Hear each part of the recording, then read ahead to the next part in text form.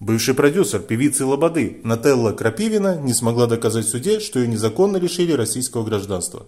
Крапивину лишили гражданства еще в марте из-за ошибки в документах и критику СВО.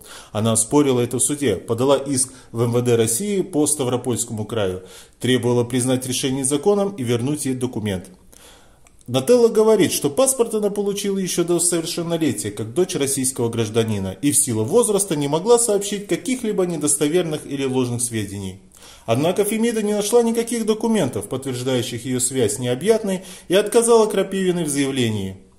Та от обиды собрала шмотки и отправилась переживать решение на израильские пляжи. Большое спасибо, подписывайтесь на канал и жмякайте на колокольчик.